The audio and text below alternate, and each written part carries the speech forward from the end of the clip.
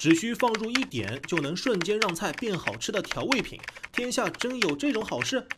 这里是知识 TNT。味精是一种神奇的调味品，不管单独品尝还是加入菜品中，都能让人们立刻尝到肉鲜味，简直就是人类针对吃这一事物的智慧结晶。但却有越来越多的餐馆开始弃用味精，标榜健康中餐。他们的意思显然就是味精等于不健康。这和你平时听到的传闻是不是无形间对应起来了？味精致癌、掉头发，加热之后甚至有毒，这一鲜美的调味剂俨然成了过街老鼠，人人喊打。但在几十年前，它还是时代的宠儿。究竟是什么突然毁了它的名声？这些治病传闻是真的吗？如今的味精可以食用吗？它还能得到证明吗？一九六八年有个词叫中餐馆综合症，这个词语当时被收录在美国最畅销的韦氏词典中，指的就是味精引起的一系列综合症。当年，美国的《新英格兰医学杂志》上突然刊登了一篇质疑味精安全性的文章，作者疑似是个居住在美国的华籍香港医生。他在文中提到，自己去中餐馆吃饭，事后却经常出现肩颈麻木、心悸等现象。他认为这主要是菜品里残留的味精导致的。在这之前，味精还是餐桌上的宠儿，每年在每个国家都被大量食用。所以此文章一出，同时在百姓间和食品安全方面都引起很大的风波。这些症状也被取名为中餐馆综合症。明眼人一眼就能看出来，这个词多少包含一些民族性的恶意。但随着文章影响的扩大，专家不得不开始不断针对味精进行研究。味精是什么？味精也叫谷氨酸钠。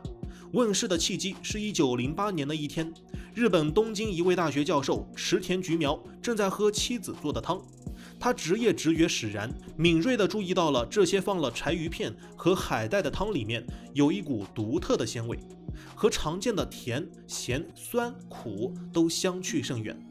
他利用自己的专业知识对这些食材进行了提炼，最终得出了结论：这种鲜味是海带里的谷氨酸和盐（化学名氯化钠）的共同作用。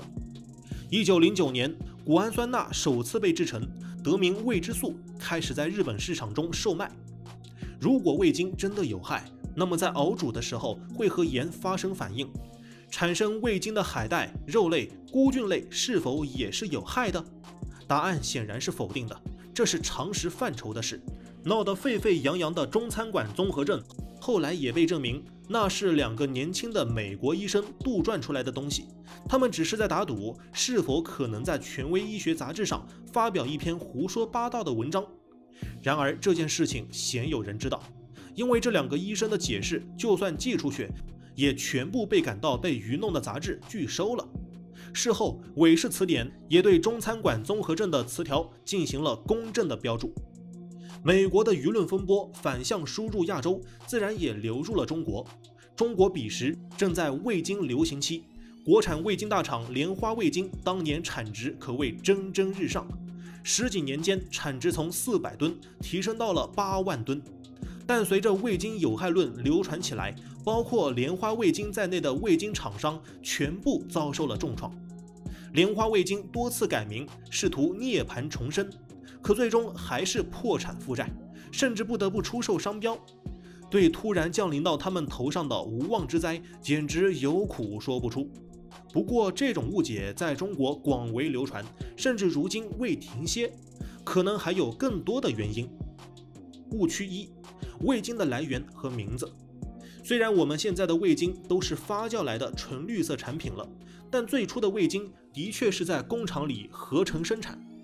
人们提到工厂，就很容易联想到有毒物质，对它产生恐慌。然后是味精这个叫法，很容易和我们语境中的香精、瘦肉精等对身体有害的东西联系起来。这说起来也挺委屈的，因为味精只在中国被这样叫。日本是上文提过的味之素，外国人对味精更是直呼其化学名称 MSG，及谷氨酸钠。比起拥有特殊命名的盐，味精显然是吃了晚来的亏。即便如此，外国人依然在烹饪时对味精照用不误，足够说明它是无害的了。误区二：味精高温下产生的焦谷氨酸钠会致癌。许多人看到“焦”这个字就感到不舒服，因为很容易联想到煮糊的东西。吃多了焦糊的食物的确致癌，没错。但胡菜中真正的致癌物叫苯并芘，和味精在高温下产生的这一物质完全攀不上亲戚。焦谷氨酸钠除了会让味精失去鲜味以外，根本就是无害的。生物学家们还对这一味精的副产物特地进行过研究，发现焦谷氨酸钠甚至对提高老年人的记忆力和认知能力有显著的效果。因为人类的大脑本身就含有焦谷氨酸这一成分，因此就算味精经过高温加热，也完全可以放心食用。只不过高温会导致味精的鲜味消失，所以在这种情况下，可以考虑干脆不放味精。不过食用味精也存在技巧，尤其是特殊人群需要特别注意。部分身体抱恙的人，比如有高血压、有心血管疾病。中风、水肿等的人群非常不适合摄入高钠食品。上世纪六十年代末，日本政府发起了一项运动，劝说人们减少盐的摄入量。此后，日本人的盐摄入量从每天十三点五克下降到每天十二克。在同一时期，人们血压下降，中风死亡数降低了百分之八十。在芬兰，每天的盐摄入量从上世纪七十年代末的十二克下降到二零零二年的九克，同期中风和心脏病的死亡数下降了百分之七十五到百分之八十。味精和盐的致病原理相似，都是因为它们成分中的钠会加剧血管收缩，更容易导致高血压、动脉粥样硬化和血栓，所以这类人对盐和味精算是敏感人群。更加应该控制摄入。对于其他人，也还有一个很重要的用量问题。有的人说味精初尝鲜美，吃多了却感觉口干舌燥、身体发热。但离了剂量说毒性都是耍流氓。吃多了本身就是导致这些现象的原因。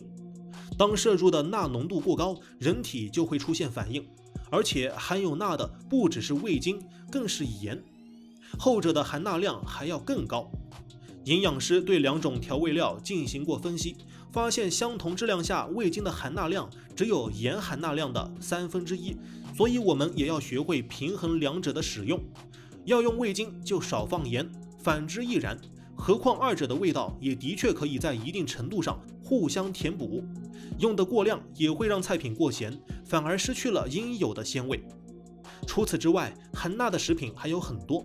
不管是鲜脆的即食海苔，还是下饭的韩国泡菜，甚至面包、饼干等蓬松的焙烤食品，都是高钠食物。所以凡事讲个适度。